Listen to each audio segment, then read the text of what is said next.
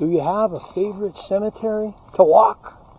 I'm not talking about the one near your house where you let your dog go on a rampage and do its business on somebody's mortal remains. I'm talking about a cemetery that you walk because it causes you to reflect. Maybe on your own mortality, but also maybe on history itself.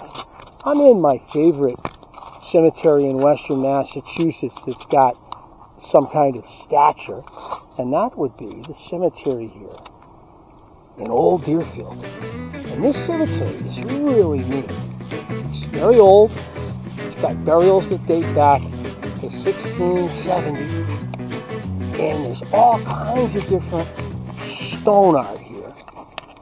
And to me, a guy that's into the bigger moments of history, it's got memory of two attacks on the community of Deerfield that are of historical note and a couple of different, what you might call, more minor massacres.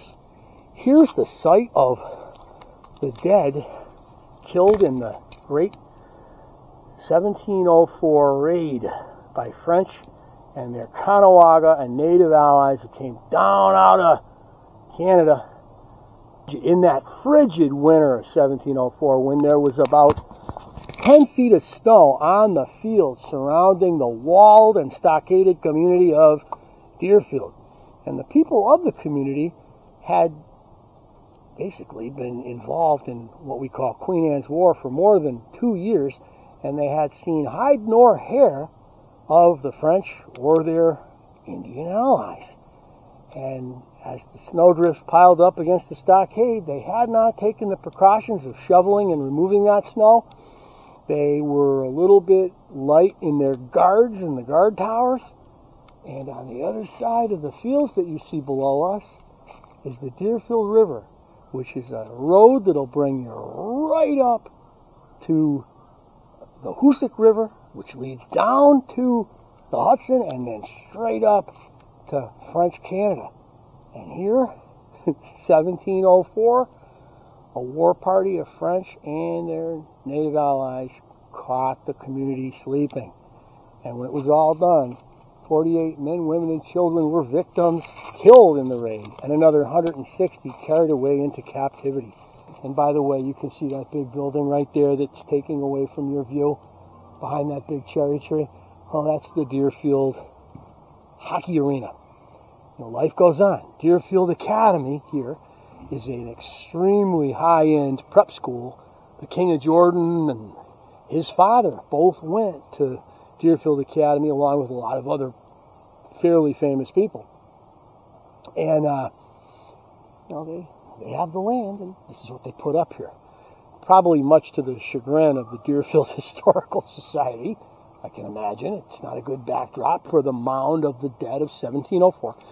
But the people of Deerfield were sleeping on the night of February 29th when, from the other side of the Deerfield River, which is on the other side of the field down here, right, you can imagine a war party of 200 plus French and native allies.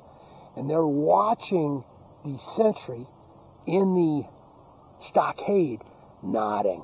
And when they see him go to sleep and stop moving, come across the field. Now, the people of the settlement had not removed the snow from in front of the stockade. And so what ends up happening is the native people walk right up the snowdrifts and literally step into the village.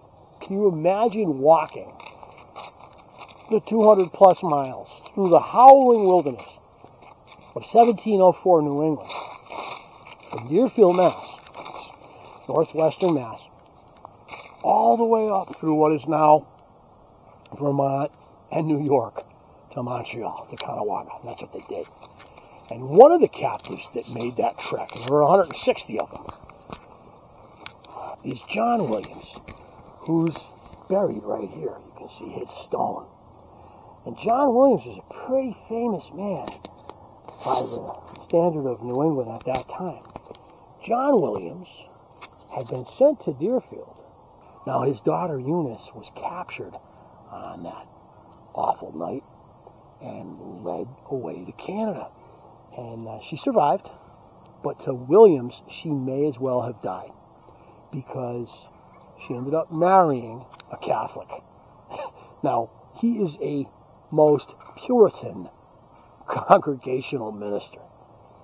The idea that his daughter married a Catholic must have broke his heart. It meant that the two of them would be forever severed in his mind. Because Catholics, of course, can't go to heaven. Only the devout Puritan can, the elect. And uh, it, it, it was, you know, he never forgave her. She came back to try to try to talk to him. He wanted nothing to do with it. Uh, but she never returned to the fold of the mother church. Those are fun days, huh? The other thing that Williams is known for is he was an anti vaxxer back at the time when the smallpox raged through Massachusetts every 12 years. And a guy from out east named Zabdiel Boylston had come up with the notion of vaccinating, well, at the time it was called an inoculation, inoculating people against the smallpox. And it was very controversial. You were taking some of the live pustule and you were scratching it into the flesh of person that was being inoculated. And you develop a small case of the disease. And our friend John Williams was completely against it, wrote multiple treaties, gave sermons against it, and ultimately was part of a movement that led to riots in Boston.